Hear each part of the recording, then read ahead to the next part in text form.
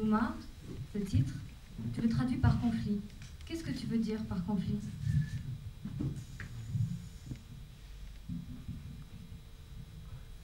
Est-ce que tu peux me dire combien ta vie coûte? Combien ma vie coûte? Oui, ta vie, elle coûte combien? Ma vie n'a pas de prix. La vie n'a pas de prix. Ta vie, elle coûte combien? Elle n'a pas de prix. Lui, tu peux me dire combien ta vie coûte Non, je te demande, tu peux quand même dire. Amen. Ta vie coûte combien C'est vrai, tu sais pas Oui. C'est que ta vie à toi, elle coûte combien Ta vie.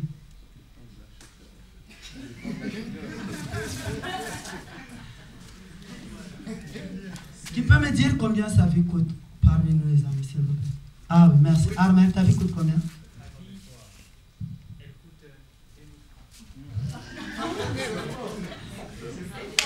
C'est intéressant ça. Euh, parmi nous, qui peut me dire combien sa vie coûte? Ok. Ma vie coûte la vie d'une autre personne. Euh, ok, c'est bien, vas-y. Moi, je crois qu'on a dit que ça dépend de la chiffre. Donc, ça peut coûter des millions, des millions, des millions, des milliards. Des milliards, c'est bien. Odette, ta vie coûte combien? Tu voulais parler là Vas-y, vas-y, vas-y.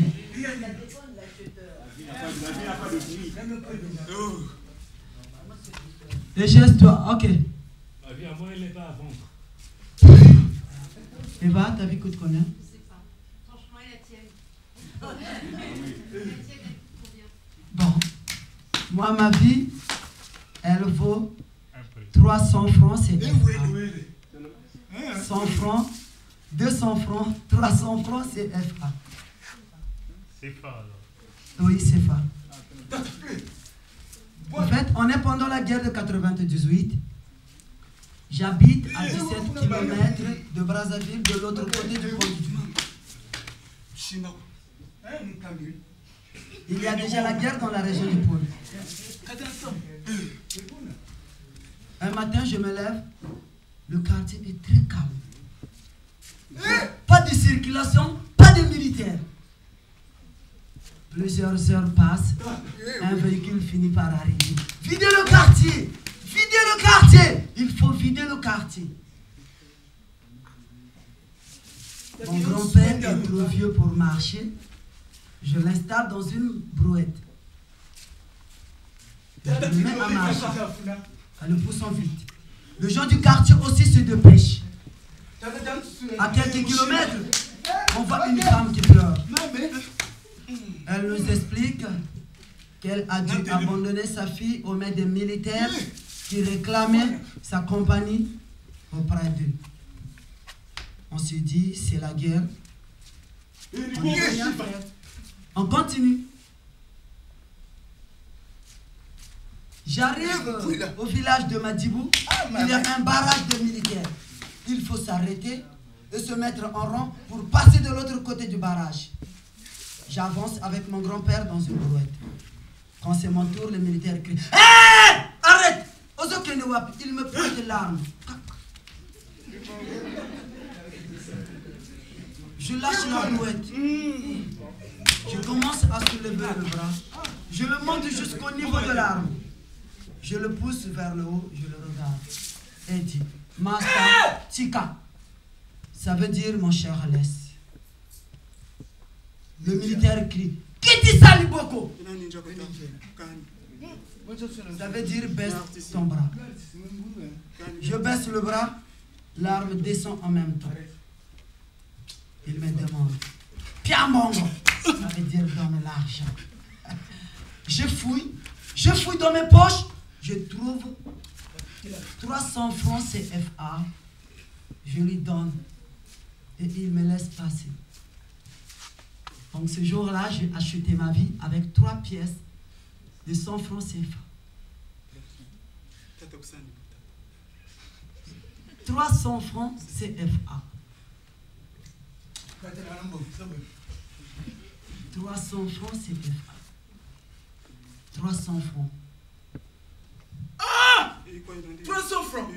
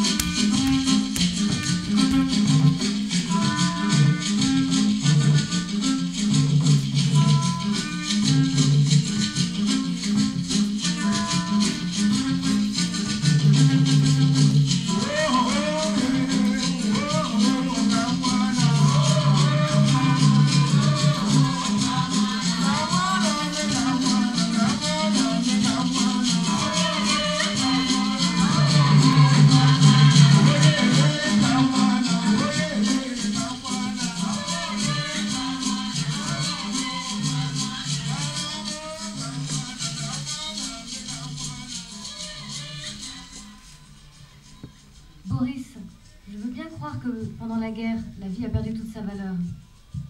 Mais Yuma, Toujours en 98, on est dans la forêt pris en otage par des rebelles.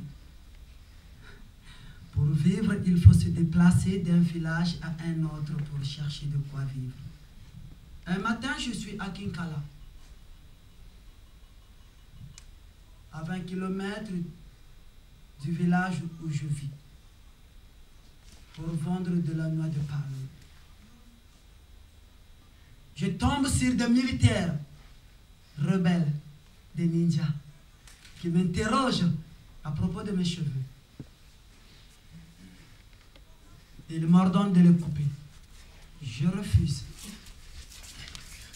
Ils ne veulent rien savoir.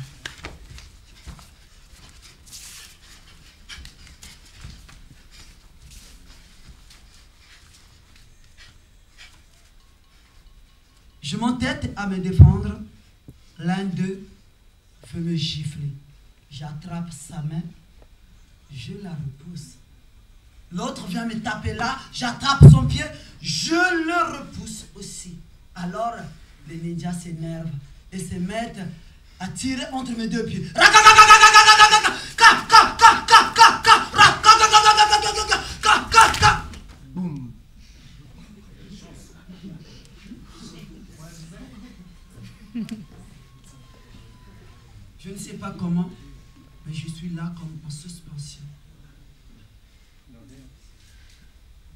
S'arrêtent, je leur demande, est-ce que je peux parler à votre commandant? Il me conduit à lui. Je lui dis, je suis chez moi. On parle la même langue et vous me traitez d'infiltré. Je voudrais savoir entre nous qui sont les vrais infiltrés. Le commandant ne veut rien savoir à ma question. Son problème, c'est qu'on me coupe les cheveux. Suis contraint d'obéir. On m'assoit sur un tabouret.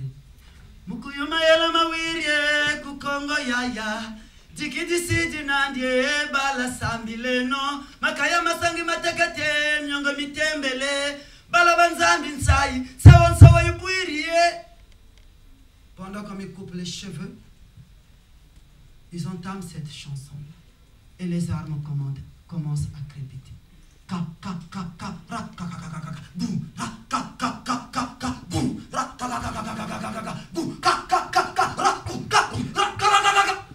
Alors qu'ils sont en carence des munitions. Ils dépensent leurs munitions pour mes, mes cheveux.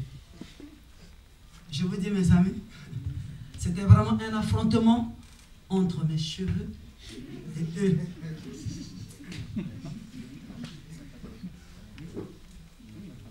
Pendant que ça tire, une personne prend une balle perdue et meurt. Après ça, il me laisse partir. Ce qu'il voulait, c'est qu'il me coupe les cheveux. C'est tout.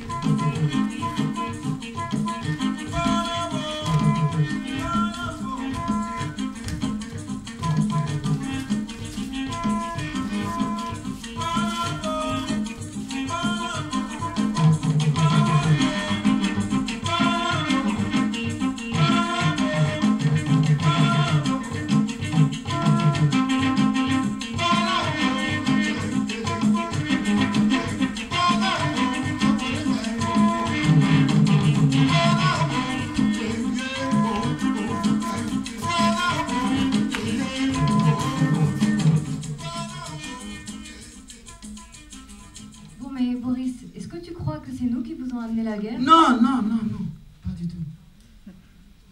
La guerre a été, elle sera.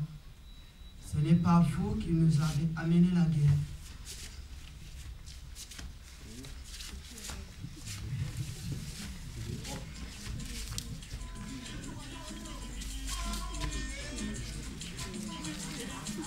La guerre, elle sera. Personne la guerre sur terre. Bon, mais Yuma, ça vient d'où alors Je ne comprends toujours pas. Yuma vient d'un couillou Yuma. En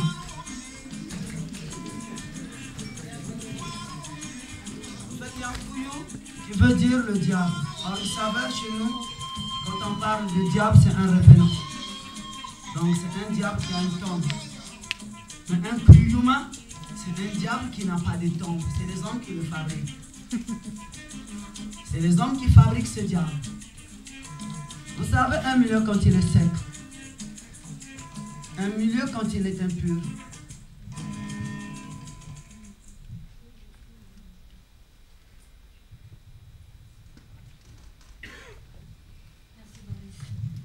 J'ai essayé de comprendre.